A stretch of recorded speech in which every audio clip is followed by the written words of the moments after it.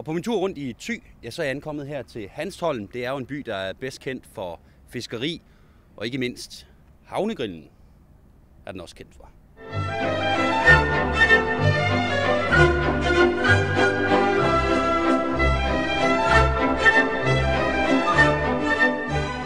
Her i Hanstholm, der er nogle meget mærkelige traditioner, måske for os. Blandt andet så er fisk i mund traditionen. Vi skal prøve at se, hvordan det virker på de indfødte. Åh! Åh! Åh! Åh! Det er fisk i mund traditionen. Hvad? Fisk i mund traditionen her i Hanstholm. Åh! Åh! Åh! Det lader til, at jeg har misforstået fisk i mund traditionen. Ja, det tror jeg bestemt.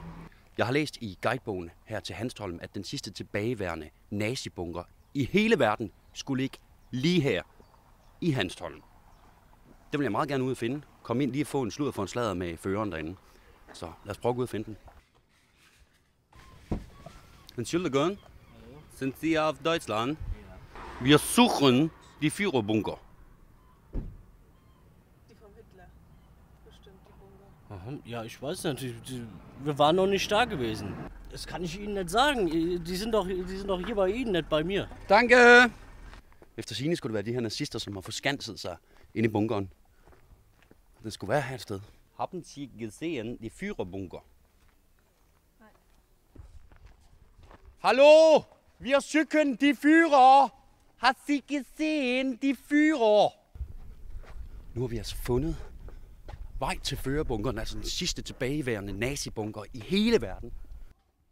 Entschuldigung, wir wollen äh, sprechen mit die Führer auf diesen Führerbunker. Ist du die Führer auf diesen Führerbunker? Det han siger til os, det er, at føreren simpelthen er taget på ferie.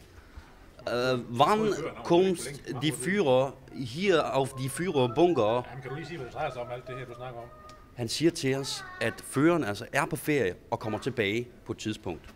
Kan vi gucken? Jamen, kan I ikke lige slappe af det lidt? Det han siger til os nu, det er, at føreren, altså, der er jo mange, der gerne vil se føreren, så selvfølgelig så skal vi også lige have lidt tålmodighed. Uh, aber wann Luk så det apparat så vi ser. Hvad drejer det sig om det her? die Führer auf diesen Führerbunker? Fyr i stort. Selvfølgelig vejs. Så, det var jeres. Men det er jo nydelig natur, man har her i Hanstholm. Det er jo nydelig natur, man har her i Hanstholm. Hanstholm er meget, meget kendt for sin nydelige natur. Det er jo en nydelig natur, man har her i Hanstholm. Det er jo nydelig, meget pæn natur, man har her i Hanstholm. Det er nydelig natur, man har her i Hanstholm. En skøn, skøn natur. Meget, meget nydelig natur heroppe i Hanstholm.